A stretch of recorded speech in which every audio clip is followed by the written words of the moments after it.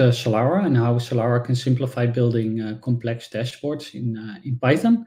And as you see, I put an asterisk at the dashboards because Solara is more like a general web uh, framework, so you can build um, a web app in it. But most people they start looking for like a dashboard solution, only to find out later that they want to build something like larger or sometimes described as a, uh, a data app. But um, dashboard is kind of the common word people use. Um, okay, so let's introduce myself a bit. I started life as a uh, software engineer, um, but then I, uh, out of curiosity, went into uh, astrophysics, did a PhD and postdoc there, and this is kind of how DALL-E uh, uh, sees me.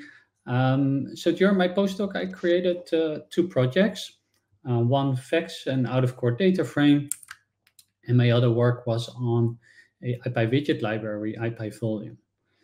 Um, so these projects led me to become a, a uh, freelancer in 2018, and uh, especially the work on um, IPy widget um, and becoming an IPy widget maintainer um, led to me becoming a distinguished contributor in, for Jupyter, and also my work on Voila uh, added there.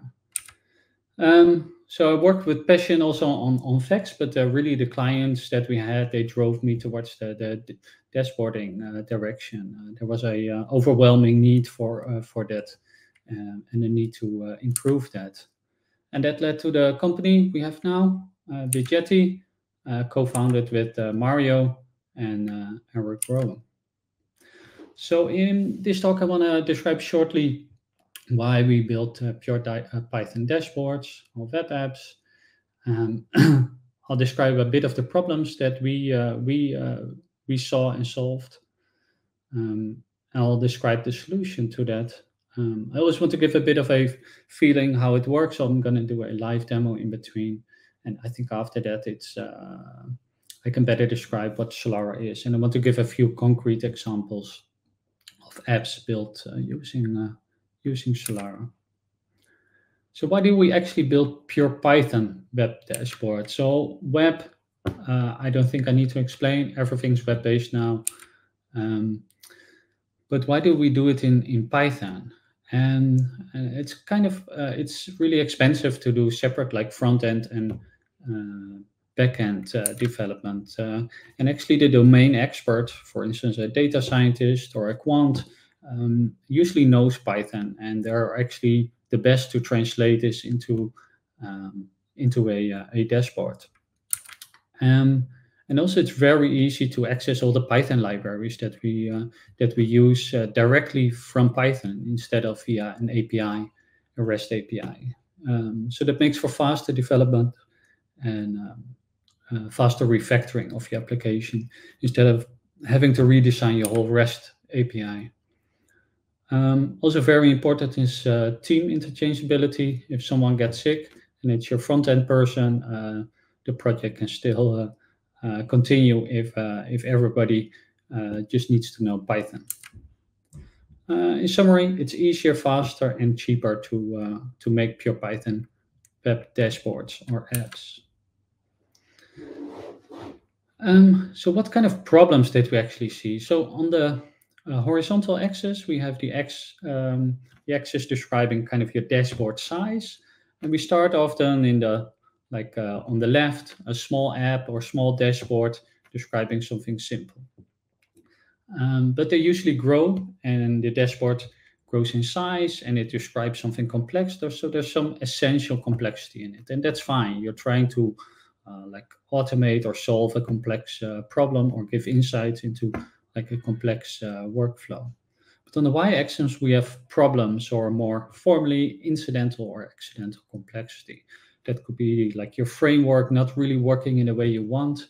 And what we saw is with a lot of frameworks that uh, once your app grows a little bit, that you uh, that you have a lot of these problems, and you start feeling like this grumpy cat, uh, not exactly happy, and be basically dealing with problems you uh, you rather not deal with. So what we wanted is a, a solution that allows you to go further, like create a larger application uh, without uh, accumulating all these uh, incidental or accidental complexity. and hopefully make you feel a bit more happier, like this cat. And we believe we've uh, solved that uh, using Solara, and that's what I want to talk to you today about.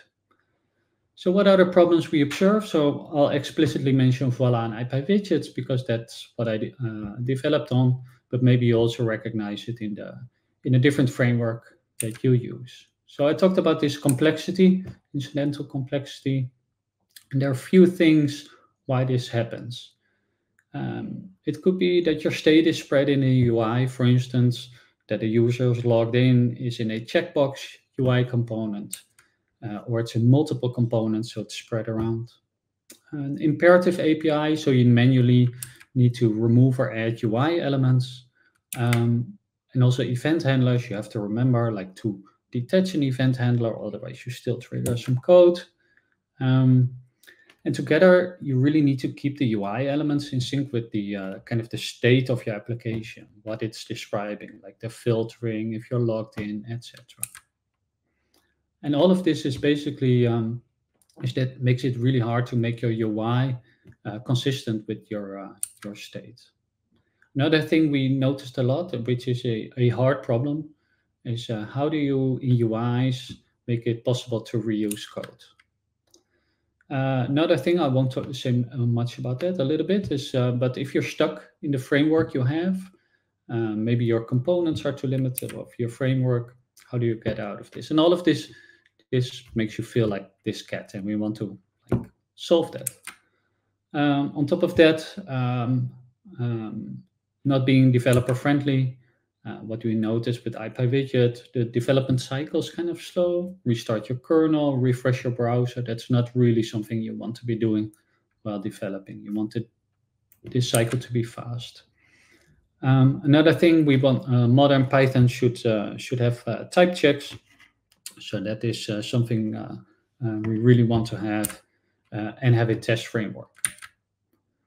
So how do we solve the complexity?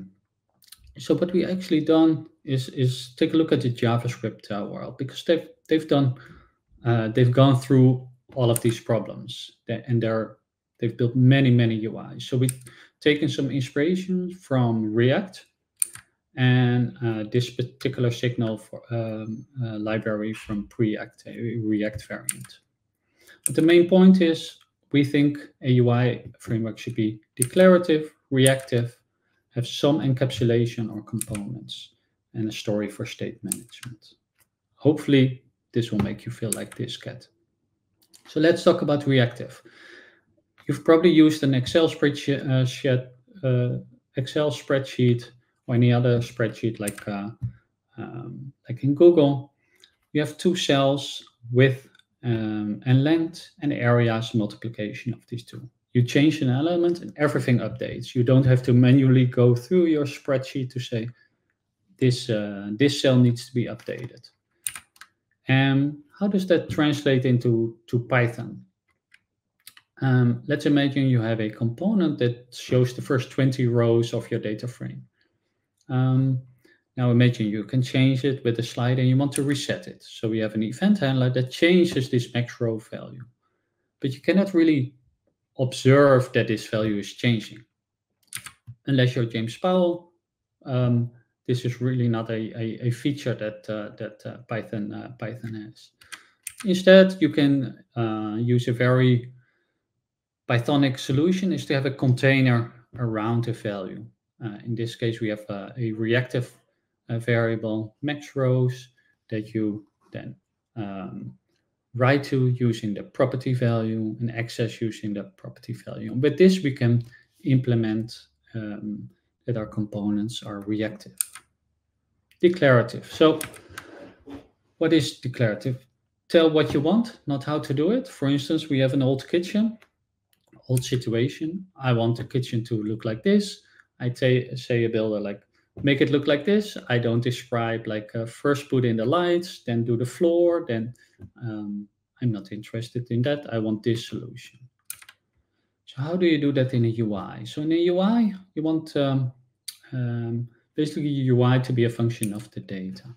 So I already showed you these reactive variables. So let's imagine we have a list of messages.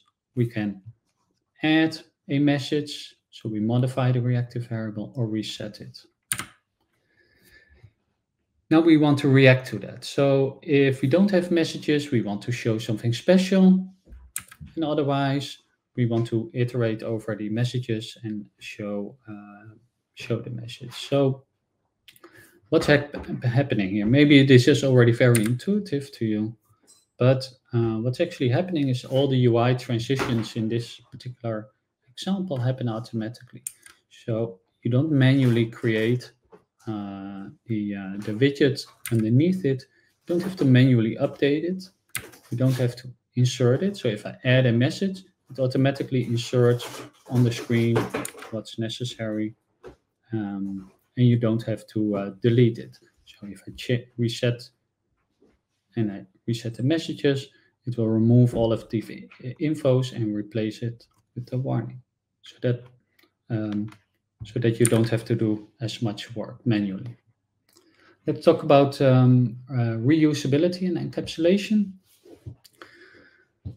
Let's imagine we have this relatively simple code where we calculate the unique values, create a figure, add a bar plot, optionally set a title, and we show it. And this could be code that you're using a lot in your uh, in your new dashboard. Um, so you saw in the previous slides, okay, I apparently have to add this like a component decorator, function name, um, and give it arguments. Great. So now I can uh, reuse this bar chart component in my application. But uh, two things, like why, how is this like different from a function? And why this capitalization? Why is this not a snake case? So here I put another element in it or making use of another component that depends on something else. Now, if this component re-executes, Solara will actually recognize that all the arguments are the same for bar chart. So it will not re-execute this function. It will actually see, okay, these are the same, so I'll reuse the previous one. Um, and um, people love this a lot because, for instance, a comparison is uh, Streamlit would basically re-execute your whole script. While here we only re-execute the components where uh, arguments have changed or internal state has changed. Okay, so we now evolve our app, give it an extra argument. So we can determine what the color of the bar chart is. Um, but now imagine that we change the color. Now we re-execute this function while only the color is changing. And now I get back to why this is um, a case like this, as if it is a class uh, instead of a function. And the reason is if we re-execute a component, there's actually some memory of the previous execution. There's a lifetime associated to this function, kind of an implicit self if you were talking about uh, an object. And in this case, I'll demonstrate it using the uh, use memo hook, which can hook into the life cycle of a component. And that is saying the, this function should only be re-executed when the data frame or column is being changed. And now it will only um, execute this function once if the data frame and column don't change. Um, so this shows you like the, the, the power of components. So let, let's go a little bit further. You say, well, this is actually too slow. It's taking like uh, two seconds for my value counts. So what, what next? Um, this will block the UI. It's not really user friendly. And this uh, for this, we have this use thread hook. So that's basically uh, another hook. And you see that the code change is really small. And this allows us to, to execute something in a thread um, show the progress uh, in a progress bar and have the whole UI uh, responsive. And, and this basically, this what's usually uh, pretty complex working with threads is really encapsulated in this component. So a pretty complex solution is like fully encapsulated in this component and, and reused many times throughout the uh, your dashboards. Um, so let's uh, uh, hope my lucky slide works again. So I want to give you a little bit of a demo of how this works in, pro, uh, in practice. Okay. So we start the Solara server. Let's refresh it. Okay, it says no object with the name page. So what Solara wants is a component with the name page. Let's display my data. What I want to do is I want to take a look at this uh, category, see if I can make uh, some bar charts here. Uh, I don't like the uh, casing here, so I help of Copilot this into title casing, and you see I save it and it automatically refreshes. So if I save it, the whole script gets executed. Um, now um, we want to filter by categories. Categories. We're going to filter data frame. Thank you, Copilot. I've filtered it to warrants only. So now we want to have a, um, uh, take this one. Copilot helps us again, so we have, have a nice label. The categories here. And you see that it takes this argument, so there's bidirectional communication. If it if the select changes, it updates the value. You can see that automatically re-render. So very easy to, to set up. An example, I showed you this uh, bar chart. What we can do is already put this in a module. So we can have this bar chart with actually the threading. Now you see that we have a nice visualization. So you see it actually took a long time. I put a sleep statement uh, in there. Um, I prepared some other. Um, now we can like show a map. Maybe we want to reorganize the app a bit. bit. Put this in a sidebar.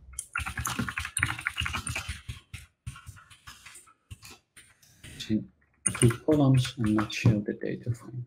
Okay.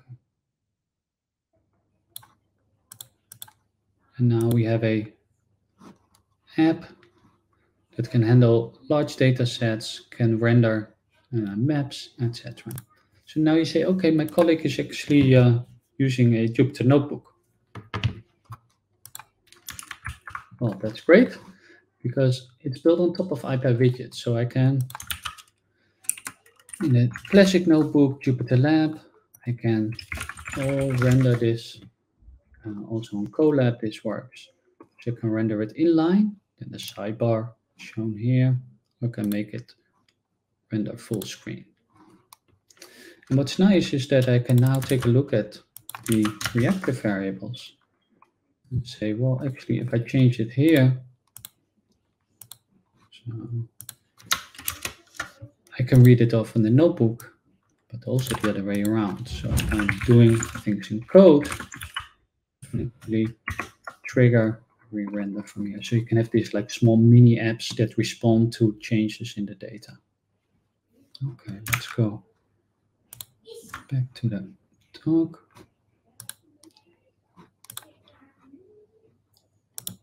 Okay, great, this worked. So what is Solar?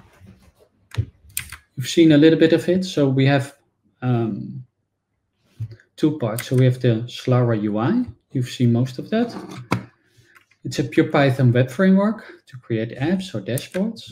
It has a React-like like API, so it's inspired on, on React, but also have reactive elements. Um, and together with the declarative way of writing your app, uh, this reduces complexity a lot. You don't have to think about like manually updating. Um, and you can create these composable, reusable UI components. Having quite complex behavior, as I've shown, you can hook into the lifecycle, uh, work with threads. Um, but we also, because we're really data oriented, have a lot of components, buttons, sliders, uh, but also for visualizing data frames. Um, and as I said, we reuse the IPyWidget ecosystem. So there are a lot of th uh, third-party IPyWidget libraries that you can uh, already integrate in your Solara app. But also solving common data challenges, um, threading, as I demonstrated, cross-filtering, caching, etc. Um, and we have a story for uh, type safe uh, state management. So our reactive variables, everything's typed. Uh, that allows you to iterate much faster without uh, introducing small small bugs. And I didn't mention much about this, but we also have this Solara server. I'll go a bit into detail later. Let's describe a little bit how uh, Solara is built. So on the UI part that you see here on top, that is built on top of a, um, a React-like uh, API called Reacton, which sits on top of IPyWidget. So Solara is using Reacton and IPyWidget. Um, and the nice components that you saw are coming from this uh, third-party library IPyVuetify, which is the material design. But you can also use these other IPyWidget libraries. Um, as I've shown, it runs in the Jupyter Notebook, also runs on Lab or Voila, so basically on the whole Jupyter stack or Google Colab. But we also have this Solara server. And it's using Starlette or FastAPI. It can use Flask, um, use uh, as a web server, uh, still using the same Jupyter protocols. Um, but this is something we recommend for, for production. It has a um, an in-process virtual kernel it's much much more efficient for uh, for handling many uh, many users and sharing sharing memory. Um, so just to give you an example, some examples of, of um, um, to get an idea how you can use Solara. So the Solara web, website itself is written in Solara, and it also has some like larger demos Here's a, a relatively um, simple but interesting uh, example where you can upload the data sets, make a lasso selection, and then, then download um, download the selections you've done. Um, demonstrate some of the, the uh, very uh, often requested features of uploading, downloading. Um, a project um, started at, uh, at Harvard that was using Qt and that we're now using Solara for to make this uh, available uh, on the web. Um, a very complex way of interacting with data, uh, multiple data sets.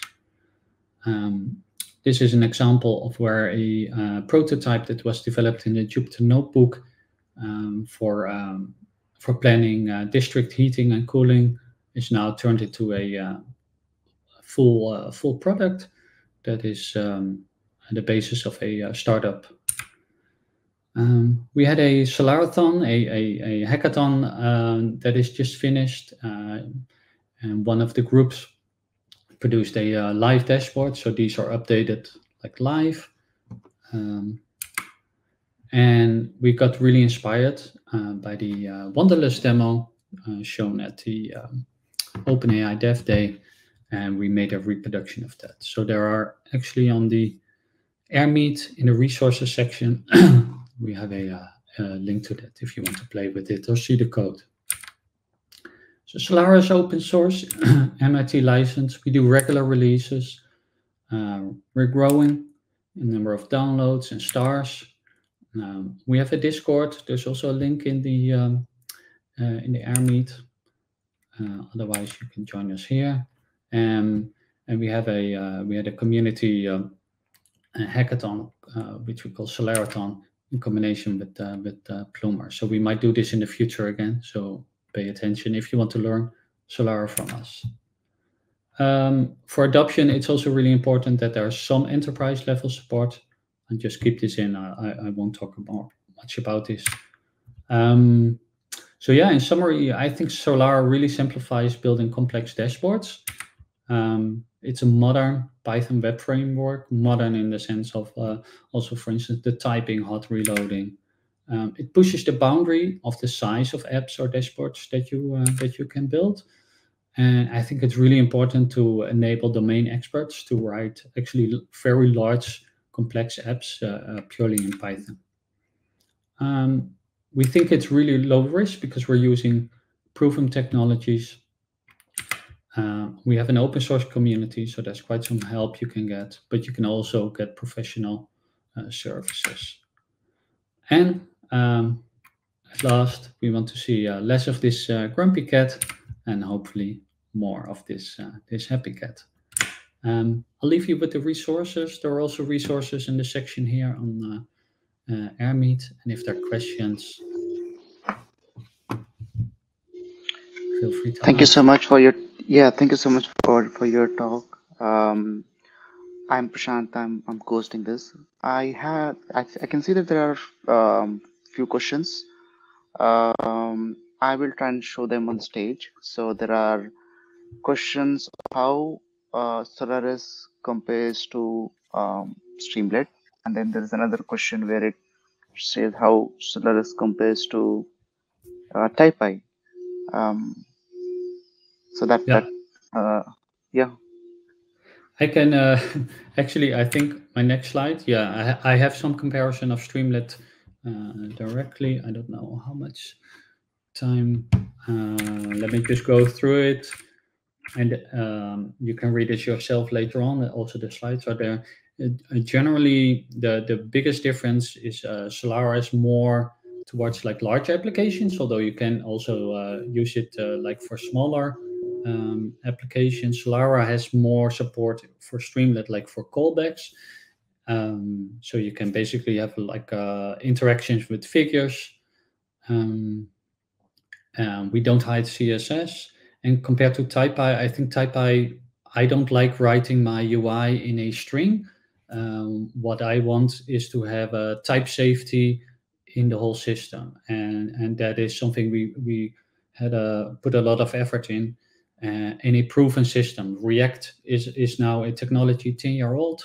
Um, it has proven itself, um, and I think it's much it, a much safer bet to uh, reuse a technology that's proven for 10 years instead of um, uh, uh, coming up with your own DSL in a um, in a kind of markdown like string. Thank you. And there is another question. Um, how is it is it to style dashboards in Solaris? Yeah, good question. So yeah, um, so one thing is is it um, is it easy? Uh, you can style it using CSS, so that's one thing. So it, it, it is possible, um, but styling is always uh, always uh, difficult. we we usually uh, work with someone that's more experienced in in um, uh, in design, but but they they can fully design. Like the Solara Dev website is fully designed by a designer.